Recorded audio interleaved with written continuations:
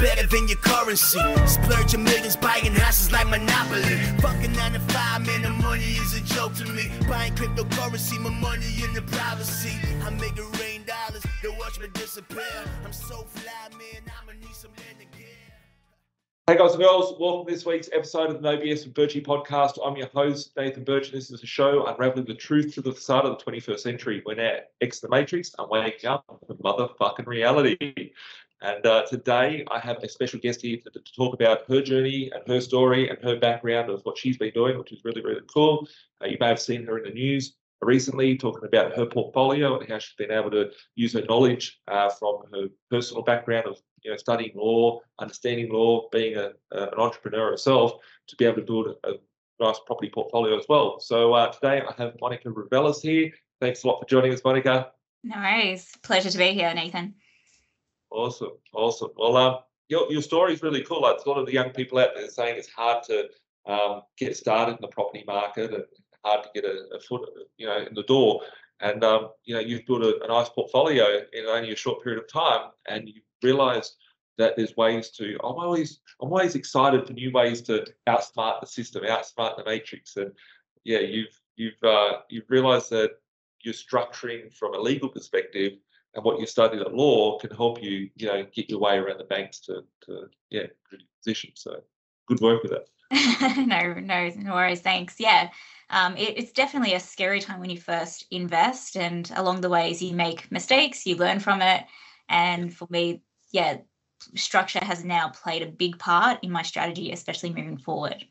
Yeah, awesome, awesome. And how long have you been investing for? Has it just been recently, or? When, when I started about five years ago. That was when I first started. So I started quite late in yeah. my late twenties. Um, to be honest, I probably should have started probably ten years earlier and not buy silly things like vehicles and take yeah. holidays and trips and things like that. Um, because looking back, I probably have, you know, 10 times more properties, but it is what it is. And I think it took me that time in life to kind of realize actually, you know what? I'm sick and tired of working nine to five. I actually want passive income streams. And for me, property was something that really interested me. Yeah. Awesome. Awesome. And um, if you could, so if you could go back to your younger self, if you could go, you know, back 10 years ago, your, your biggest tip would be start early, would you think? Or yeah? Start early. As soon as you have the deposit, don't wait. Just yeah. go for it. Um, so, like in my early 20s, I had a full time job. I was earning about 70K a year at that point, um, working at, at Sydney University. And instead of investing in my savings, I was still living at home with mum and dad. Instead of like investing my savings, I yeah. went out and bought a car. I took holidays. I went out every weekend, you know, with mates and things like that, and just really spoiling myself and enjoying life. Um, yeah. focusing on the lifestyle rather than going, hang on a second, I don't really want to be working nine to five for the rest of my life. And I'd rather, you know, use that money for something else. So that took me probably almost a decade to kind of realize um, that there's a better way to generate income than just working nine to five. Yeah, awesome, awesome, man. So apart from studying law, like you're into music, yeah? Uh, either yeah. music. Uh, yeah. Tell us a bit about that. Yeah, so I started off in music. So straight out of high school, I went and studied at the Sydney Conservatoire of Music, um, and I've specialised more in music production and electronic um, basically composition, which is mm, yeah, making music like beats and shit like that, which is pretty awesome. Yeah. Um, and then I got offered in my last semester at uni a full time job at the Sydney Conservatoire of Music, doing a sort of like a media production sort of role. Um, and then from there, I decided actually I really want to know about business and went off and did a MBA um, at the time.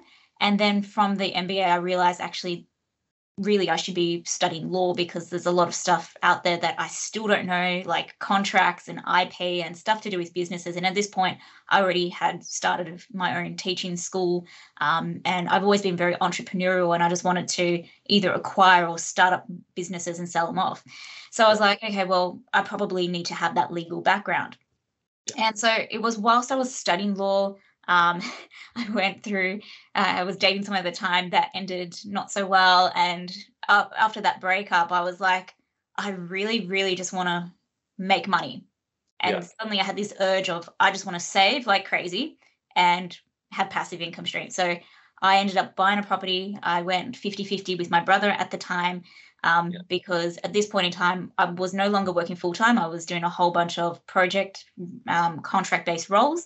Um, so, whilst I had the deposit and I could afford to pay the mortgage and there'll be $10,000 profit from that property by the end of the year, um, the only way I could actually get a loan from the bank was to go with someone who had full time income, which was my brother.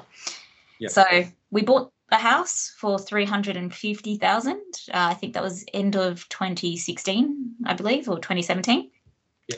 And um, we bought it. Um, at the time, we were told the rent was only going to be between 300 to 330 per week.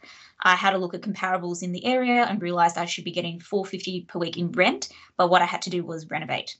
So we spent about 20k doing a cosmetic renovation, so just paint, new kitchen. That was pretty much it. We um, sanded because it had beautiful hardwood floors. We sanded and re um, coated them, and that was it pretty much. And um, at the end of that, the we ended up getting um, the house revalued. It was now worth 420 roughly, and the rent now was 450 per week. Yeah. Cool. So we've got equity, got cash flow.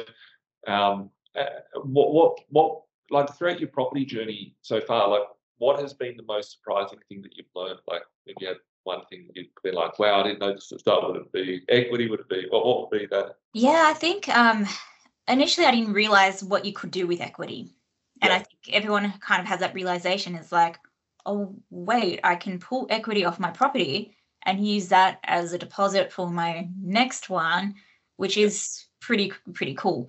Um, so and, and that's quite advantageous. And you've got a couple ways to manipulate that equity. It's either pay off the loan faster or wait for the value of the property to go up or invest in yeah. the property through renovations and and whatnot. So often cosmetic renovations are probably the fastest way to gain equity. And then the other one that I'm about to journey into is like granny flats and subdivisions and things like that as well.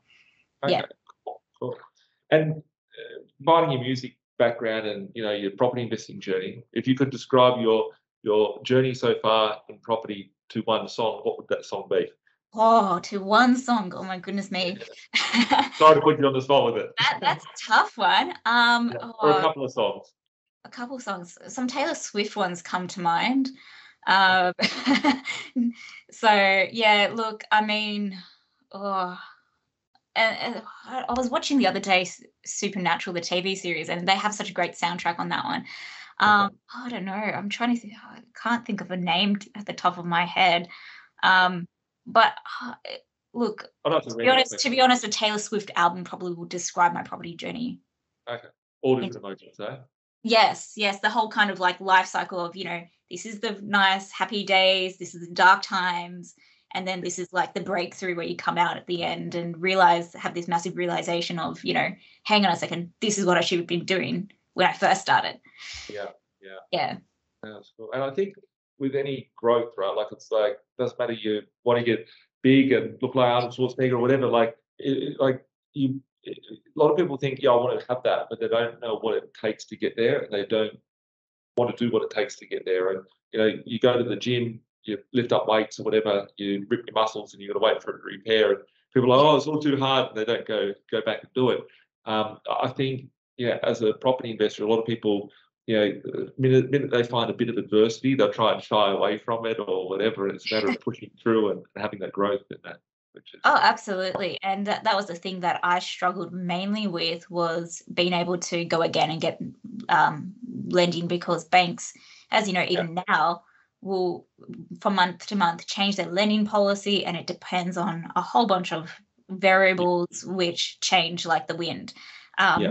yeah so i guess that takes us on to the next thing that i really want to crack open and, and break apart uh, i think i know what you're about to say with this but i'm really excited to hear how you've been able to you know use your knowledge of the law and your understanding of how the banks work to be able to unpack the strategies being able to help you continue even with the banks you normally most people would snooker themselves, but you found a way to break through the loophole. So yeah. Yeah. So one of the things I found out was when you take a loan out in your personal name, even if you have an asset that is attached to a loan and that asset is fully paying off the loan and all its expenses, the banks don't actually put it down on paper as that. They shade it down essentially. They say, oh, actually, you know what? Yes, your property might be turning over $25,000 a year. Your expenses are 13,000. However, we're going to make the expenses more like 18,000 and your income is now going to drop down to maybe 20,000. So you're left with 2k buffer essentially or sometimes even less. Um, and the reason for that is obviously it's to do with the national credit code and the way the banks are regulated uh, when it comes to personal lending. So it's all around this whole notion of responsible lending. Um, so with that said, they always have to leave that buffer should interest rates go up or circumstances change, inflation, etc. If someone cannot pay off their mortgage, at least the asset will be able to cover all their costs. What I didn't realize initially but I now know is that if you use a whole bunch of corporate structures, whether it's companies or companies with a trust attached to it, um, whilst those entities still take on residential mortgages, the assessment criteria is different because the National Credit Code does not apply to company structures in the same way as does as personal structures. So what that means, um, and again, this could all change in the next couple of years um, after a recent High Court case where this became a bit of a contentious issue.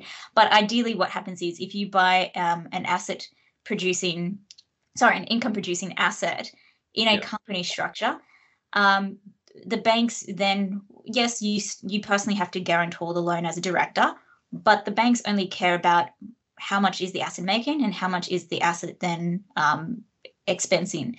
Um, and at the end of the day, if you happen to be positively geared or positive cash flow, then the banks go, great, we'll leave that asset alone. You go for another uh, loan in another structure, and the banks go, okay, we'll give you money. We we don't care about that asset because it's self sufficient. We don't have yeah. to worry about it, which is a strange thing because you try to do it in your personal name, yeah. but banks have to manage the risk in companies yeah. because uh, the companies have a variety of structures to restructure or sell bits off or sell the whole company off at the end of the day. Yeah. Banks weigh the risk very differently. Yeah. It's just yeah. you've got to have the right team as well around you to be able to negotiate those deals with the banks for you at the end of the day. Yeah. Exactly. And, and how to ask for it as well. There's a different way. Like it's like some people like ask for things in a different way and it's, it's understanding how you need to be and how yeah. to take the hand and how to yeah, yeah. Yeah. Cool, cool. So I guess um yeah, that's that's one thing that you've learned and, and overcome is is how to keep progressing. Has there been any other sort of challenges that you've had that you've been able to face and overcome that adversity with? Like you said, renos beforehand and stuff like that. Like yeah, renos beforehand. The other thing is just um, you know, staying on top of your income and tax returns. So whilst you know passive income is all great, um, particularly if you're leveraging debt, you still need to have the income to be able to service that debt at the end of the day. Um, so staying on top of things, and the thing that's hit me recently, unfortunately, has been the HECS debt, which uh, for the past couple of years haven't been really paying too much attention to pay off other than the bare minimum. Um, yeah. And now looking at that, going, oh crap, I need to find a way to get rid of this debt um, yeah. because it is not only affecting my serviceability, but it's a, it's a fair chunk of wasted money to be paying every year towards. Yeah. yeah. Cool, cool. I guess like starting out, like when you're buying a property, your first one is like expenses, there things you've got to learn along the way and all that. And then you go to a second one and a third one, you grow the position. What sort of like challenge have you been able to you know grow up so quickly and like manage the debt and manage the cash flow? Like is that yeah. yeah, I mean, with the first one, it was just basically the rent and also the loan structure as well. So for investment properties, I do interest only loans. Um, and the reason for that is, well, I don't really need to pay down the principal if the principal is automatically increasing um, as is. Um, so I don't need to really pay down the loan to get more equity out of the property, essentially. Um, so that helps with cash flow um, in a property perspective. Um, the other thing that I've yeah just made sure that I was on top of is when you buy the property, actually do the figures. Yeah. Like get an Excel spreadsheet and go, okay, it's going to cost me two and a half grand in council rates. It's going to cost me, you know, uh, a thousand dollars in water rates. Um, if it's a unit, you've got to factor in strata costs as well, and then see, okay, if the mortgage is at, and I always did my calculations when I first started at around six seven percent as yep. the interest rate. Um, now I'll probably be doing it maybe eight, nine, 10 even percent, just Yeah. to see if I can break even. If I can break even at 10%, I'll go, okay, yep, I'm fine with this deal. Yeah. Let's go ahead with it. Um, so th- those are the things to be, you know, mindful of. The other thing is as well to, you know, when you do buy in certain areas, um, you know, I, I think knowledge is power. So, you know, making sure that you're buying in areas where you know you can get your property rented out at, Yeah. you know, uh, whatever is the market rent um, and get that return on investment. Um, the other thing that I also sh- struggled with in the beginning was actually having a good property manager to manage my properties, especially in towns. Yeah, Well, it's always the biggest hurdle is uh, you know one thing's about buying the asset and the other part is like managing it to be able to extract the best return. And I've found over the years some agents are pro tenant and some are pro landlord you need someone who's going to be pro landlord yeah Yes, yeah. So I had I had one, you know, when we first started. She was great initially, but then she ended up being pro tenant to the f- point where she found a tenant a larger house for the same amount of rent, and the tenant then left. But she also gave freedoms to the tenant to start like drilling holes on walls and all this other stuff, which I had no knowledge about. Um, and the worst thing I hate is going to tribunal because I mean I've I've been to the tribunal, I've been a tenant, I've been a landlord when you go to tribunal as a tenant, you're like, oh, tribunals are in favor of the landlord. But as a landlord, when you go to tribunals, it's like, oh, they're in favor of the tenant, right? Yeah. Um, and and at the end of the day, it really comes down to how well your property manager has actually documented Yeah. the whole tenancy from the start, like those initial photos of the condition at the start, the photos at the end, the, and the timing of when those photos are taken, and then that correspondence with the tenant and how proactive they are.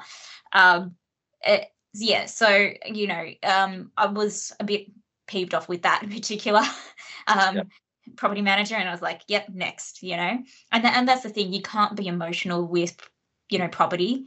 Um, Yeah. because as soon as you're emotional and you're like, oh well, they're a good tenant, etc. Well, if they're paying a hundred dollars under market value, you, you got to find a way. You got two options. Okay, they're a good tenant. I know they pay the rental time. Let's increase them twenty dollars a week, and they'll be fine with that. Yeah. But on the other hand, if you say, well, we're going to increase you twenty dollars a week, and they're like, oh, we can't afford it, then you're like, okay, well, see you later because there's another 30, 50 people queuing just for your rental property. Yeah. and I think you know we all want Lamborghinis we all want Ferraris we all want all the things in life right but you know the budget's there right and it's like Yeah. it's not our job to support someone else's lifestyle we're supporting it by giving them a property that's affordable that's clean neat tidy and all that um, which is very important. You, you mentioned beforehand, like, you know, don't let the emotion in. I always say you've got to treat your investing like a business, and you know, you're being a business person as well. Um, you need to make sure you're leaving that emotion out at the door because it, it will get you killed if you're too nice or yeah. Well, absolutely. So I think as well, like when you're doing renovations in particular, sometimes you're like, oh, I want the state of the art kitchen. I want, you know, the state of the art bathroom. And you're like, you know what, a five hundred dollar kitchen from Bunnings, if you like get the nice finishes on the on the cabinetry, will look the same as a two thousand dollar kitchen. Um, you know, and it's it's learning how to be smart. And like you said, you know, we all want nice things. That was the other thing my younger self would say: do not buy cars until you've bought houses. Um, Yeah. lesson lesson learned there. I think in a period of ten years, I bought four cars outright. Not Yeah. not smart with my spending. Um, but yeah, it's one of those things like with renovations and things like that. You can't be emotional, even when you go and buy a property. I mean, I bought a property in Queensland. I bought it sight unseen, uh, other Yeah. than a, a video walkthrough, and I was like, okay, let's look at the figures. It's standing all right. The building pest says everything's fine. It's a big block of land, which is great because I want to, you know, either put a granny flat or knock down, do like a duplex or a triplex on it. Um, Yeah. Did I care if there was a little bit of paint peeling off the wall? No, because the property manager that I did the walkthrough with was like, you know what, we can rent this out today for five hundred dollars a week. Yeah. And it was Yeah. a three hundred and fifty thousand dollar purchase. So it, it's a no brainer. I think that's cool as well. Like when you go to buy something, I think a lot of people fear when they're buying a property that's like interstate or not in the neighborhood. Like when I first started investing, there was, um, you know, in Sydney there was no internet. There was no, there was internet, but it wasn't used like we are now. There's no podcast, no Facebook, no YouTube, Yeah. not even realestate.com existed. yeah. Um, and you know the only things were out there were bulletin boards. You could post a little message, and maybe a week later someone would write back to you or whatever. Um, and now you can literally track a camera down the street and do Google Street View, and you know, you've got all the tools and resources there. Um, uh, if, if someone was to buy a property and want to go and look at it, touch it, feel it, you can look at a property anywhere and say it's okay. You get the pest in building, it's full of termites or whatever. Yeah. When you buy shares, right? I always ask people if they're buying shares, like, do you own Woolworths shares, for example? And someone will say, yeah, I own Woolworths shares. It's like, okay, great. Have you been to all 500 or 700 or 1,000 stores and made sure they look okay? I don't want to buy Woolworths shares because there's one in a dodgy neighborhood, right? And it's like, no, you're looking at it. What's the cash flow? What's the numbers? How's it going to Yeah. stack up? Yeah. And I think it's cool that you've you know, done that on your, yeah, with, with your journey as well. So, Yeah, and that's the other thing. I mean, you got, and nowadays I probably buy with a little bit more data focus because, as you said, the internet, you have a lot more access to data and um, etc. And, I- and I do like to think from an economics point of view when I assess properties now. Um, but like when I first started, I was just like, I know this town. Here's the here's how much it's worth. This is how much the rent is. Yes, there's a Woolworths. Yes, there's a Bunnings up the road. Uh, I'm Yeah. sorted. It's all good. And there's you know c- construction coming in the next 10 years with major road developments. I'll buy here. That that Yeah. was my thinking at the time. Now I'll probably factor in a few other different things like scarcity and just kind of you know how can i maximize the rental yield or how can i maximize the growth over the property over say five years to really rip out as much equity to go again? Um, Yeah. so my thinking has changed but that comes also with education and you know the more you, you buy and the more you start to network with people that are on those similar paths to you. And and that was the other thing i found as well was um, when I first started, all of my friends were like, How can you be buying property? You know, it's like, I have 60K sitting in the bank, but I'm not ready to buy property. I'm like, Are you kidding me? you have, you're ready. Just just put it down. Yeah. And that's the other thing in terms of being smart is with your loans that you get from the bank, go back to them and ask them, Can I get a better rate when you Yeah. can? Um, so recently I fixed on my loans, luckily at 2.85%, and that's until 2025. So I'm happy for the next year and a bit but also that allows me to kind of work on okay well if interest rates stay where they are or go higher can i still afford to pay the loan and for me it's like well the value of my property's gone up so i can always just refinance Yeah. back up to 80 and then you know extend the loan back to 30 years and then i'll be fine and i'll be probably pay, paying pretty much what i am today um, Yeah. so that's that's the other thing to look at it is how can you refinance or how can you ask for a better rate negotiate um, with with banks and things like that yeah Well, and you, you mentioned, uh, I think it's a very big one. So a lot of people just think like they're stuck, especially in the market now where you know interest rates have gone up. They may not be able to service to take to a different bank or, or whatnot. Um, it just by simply picking up the phone to the retention team at the bank, you know, you might be able to get half a percent or a quarter of a percent or three quarters of a percent. Yeah, it all adds up.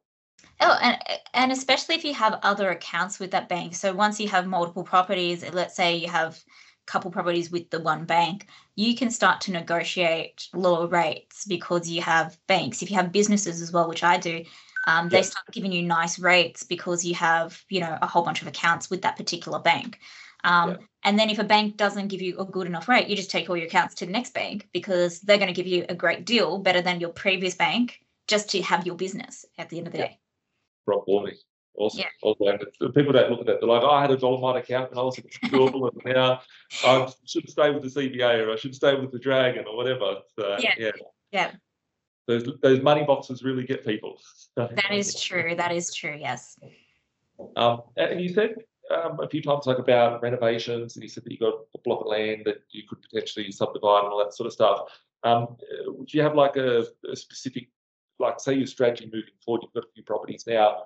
What what like if we fast forward like five years, ten years, what does that strategy look like for you? With what you're trying to achieve out of your portfolio? Like, Yeah. Look, I want to keep you know investing in the residential property space. I might also have a couple commercial properties down the track because I think that's really good for cash flow, um, particularly at the moment with the economic climate. Um, I mean, ideally, I would like to probably by the end of next year, if all goes to plan, try and buy between another five to 10 more properties. Um, and with that said, I already got with the, the couple properties I have, I'm already in the process of putting a granny flat on the back of one. That's going to cost me about 100K um, to build, but it's going to return me $450 a week in rent. Yeah. yeah. So, and, and, plus the equity that then comes as a result of having that granny flat at the back of the property. So the property currently is now valued at 730,000. Once I've actually put the granny flat on, it's going to be worth over a mil, probably closer to 1.1 mil. Okay, cool, cool. So, yeah, there's, and that's kind of what I'm looking for in the deals is the growth potential, not just in terms of, okay, if I just sit on the property, let you know markets as they have been you know earn me 100k in equity just on the property alone it's like well at some point that's going to stop um, yeah. or, or, slow down. Um, so how can i you know um, create that growth?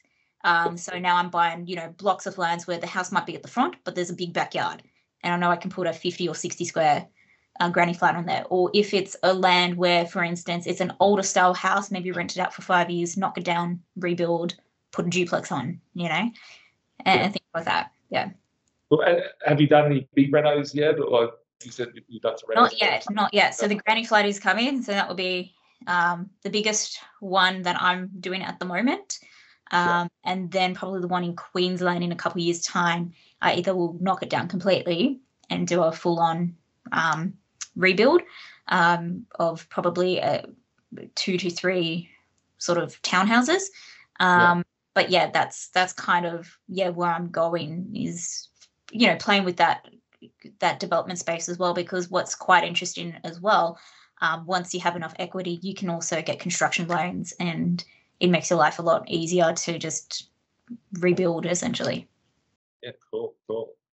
And i guess like you, you said that you like there's things you would have done earlier if you could if you could go back to the DeLorean back to you know 10 years ago. Yeah. change things. Um, uh, to get to where you are today has been a long game to, to to get there. And you know now you've got knowledge, you've got the resources, you've got you know the processes and systems in place. You can snowball that even faster. Um, I, I, guess for people that are watching that maybe like I can't do something today or I've been waiting or uh, they might have capacity but they don't feel like they can do something. What's your thoughts on the long game? Like how's that played for you? Like remaining focused because you could have had people in the early days saying to you you shouldn't do this. You only need one property. Just buy one or whatever. And you could listen to that. Uh, well, I mean, start with the one property. When I first bought a property, I was like, yeah, I'll get one or two. Now it's like, I want 10, 20, 40. You know what I mean? I don't want to stop because um, yeah. I want properties that can, you know, you know, make me a couple hundred K a year so I can actually go travel the world and, you know, support my family and things like that uh, down the track. Um, so it's you know I'm I'm doing it for the lifestyle it can provide me you know down the track. Um and you know with that we we all know money doesn't make you happy but it does give you a lot better access to to certain things um we, which is kind of what I'm sort of striving for. Um you know as soon as you have that deposit just go and buy property. If I had to choose between property and shares I definitely do property in a heartbeat um, yeah. because you got both the cash flow and the growth. Um, whereas with shares, you're really just reliant on on the growth and I guess the dividends, which would be the cash flow side of things. But um, yeah, so I definitely would just go there. If I don't have the deposit or the serviceability, find someone that you can partner with um, yeah. for that first property um, and set it up in a way. This was the other thing that I learned when I did my first property with my brother, which I then had to buy him out. And then I had to, when I restructured everything, I had to pay stamp duty again. Terrible idea. But when you do buy with someone, structure it in a way so that essentially you have two mortgages, one for each person, and based on on the split of the property rather than one loan, um, because then you become responsible for the whole of the debt, even though your split on on title might be 50 50. Yeah. Yeah jointly and separately liable, which will connect. That's yeah. right. That's right. And yeah, so there are ways you can structure it. So, like I learned afterwards, for instance, CommBank at the time had a thing called property share, where if you had two or more people on a title, each of them could have their own individual mortgage, which was not cross collateralized, um, which was was great. But I I'm not sure if they still offer that anymore. But um, at the time, that was something that we learned after we had taken our our loan out with another bank. So yeah, yeah awesome, awesome, and I guess like you know, someone if someone was to if you were to start again today, like you said there that you'd change a few things, is there anything that you'd like fast track to go? Okay, I can get. I always say to people like there's a difference between getting one or two or getting ten or twenty properties. And you said before, you know, 10, 20, you added the extra zero on. Um, what would be your advice to someone if they were starting today? What would be the maybe the top couple of things? Yeah. I'd go, I'd go and speak to a lawyer or uh, an accountant and talk about I don't want just one or two. I actually want 10 or 20. Um, because when I first started my property journey, my accountant was like, oh, that's fine. You've done it the right thing. Banks should lend to you. Your income's great. Everything's great. Reality was very, very different. Um, and then he had this thing whereas when you get to five properties, we can talk about structuring them and moving them across into these corporate entities. What I didn't realize at the time is that you have to pay stamp duty again and possibly capital gains tax as well which you don't want to pay because that ends up if you at five properties you're looking at a hundred to two hundred thousand dollars just to move it into a new entity, which you don't really want to be doing. Um, so in that case, a lot of people often then sell and restart again. Um, so getting the structure right and just knowing like, do you just want one or two, or what would you be comfortable with, and what is realistic as well. So for me, probably when I first started to say I wanted ten, probably wasn't realistic but once I kind of realized, you know, actually, if I do it this particular way, and, you know, I, I think long term over a 10 year period, then yes, 10, 20 properties is actually quite achievable. Um, but to do it, I need to structure it in a particular way. Yeah, I think you know reverse engineering the goal is very crucial when you when you got the goal it's like what do i need to do to, to get there and i think more people like when they're investing this is why a lot of people get stuck at one or two properties is that they plan more for their next holiday, they plan more for their next how they're going to spend their money, what they're going to do on the weekend, than what they are to exit their job and how to get financial freedom, which you know is very crucial. Like you want to you're either stuck in a job for 40 years or 50 years, or you're you know take that time, whether it be a day, a week, a month, a year, two years, to plan how am I going to get out and you know. Absolutely. And the other thing that I I know because of the structures is if you want that holiday, if you want to, you know, pay for your kids' dance lessons or whatever it is, you can do that actually in the structures. There's there's ways to do it where you can still have you can still scale, you know, your property journey and as you said, to snowball it. Um and, and still have those holidays and trips, but it's all about having the right approach and the right structure. And yeah. once you understand that, and they don't really teach you this at uni, I sort of, I was fortunate to actually be working for uh, one of the big four accounting firms in the tax legal department. I won't say which one, yeah.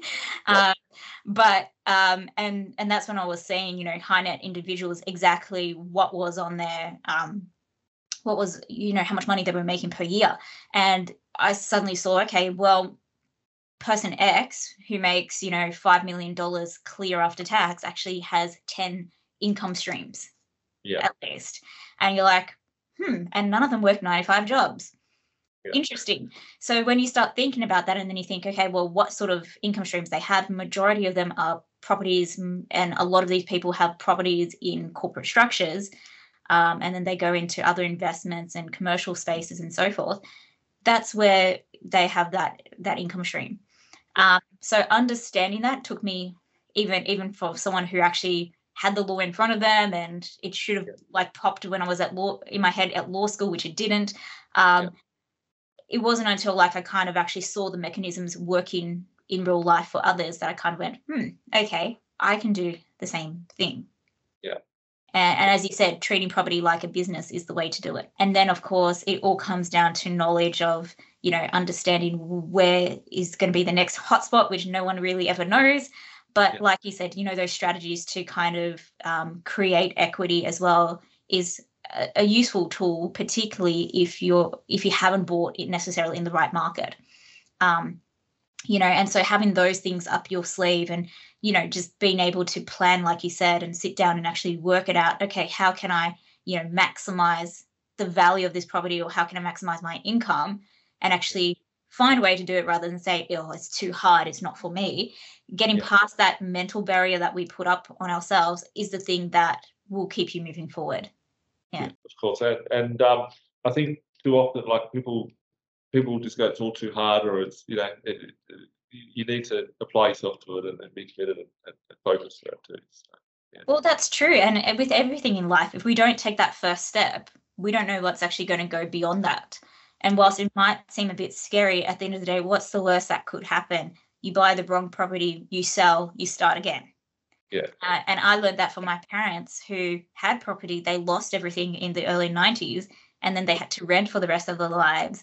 Um, and, you know, they were financially strained for most of their life. And I kind of went, I don't want that for myself. What can I learn from their mistakes to make sure I don't repeat them and do things differently? And and one of my things that I always do is if there is a problem, I don't say, oh, okay, that's that's it. Okay, someone says no. I like you've said no. How can we get to a yes? Yeah. You know, how can we make it happen? If it's not this path, it's going to be this path. If we have to go around the uh, block to get there, then Yeah. let's do it. But let, let's overcome that hurdle. And yeah, yeah, I think the biggest thing when I when I speak to my investors on a daily basis, when someone has a hurdle, like they'll say, "Oh, the bank said I can't borrow." It's like, well, why can't you borrow, right? And it's like, "Oh, I don't know." And it's like people don't ask those questions to their broker or the bank. Why can't I borrow? Like, what is it that's hurting you? Because if you don't know what it is that's hurting you, then you can't go back and fix it. So it's like, well, we've got a problem here. What do I need to do to fix it? Is it your servicing? Okay, I can't service for it.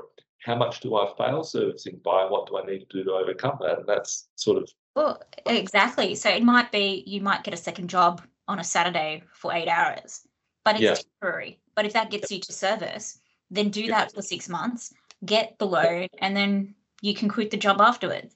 You know what I mean?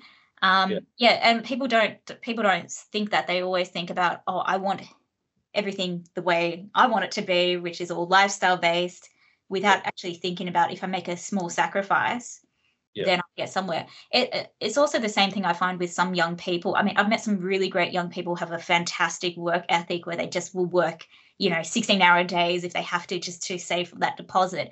But then Yeah. at the same time, because I, I do teach at, at, um, at a few universities, uh, one being Macquarie Uni, um, funnily enough, you get the odd student with the mindset that it's like, how dare I work more than eight hours in a day? And it's like, don't you want the overtime?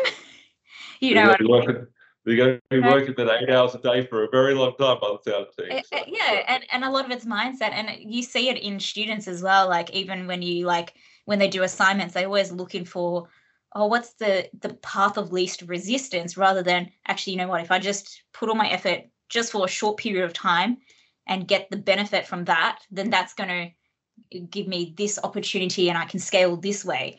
Um, so a lot of people look for the easy way out and they're like oh well it's too hard to save for a deposit.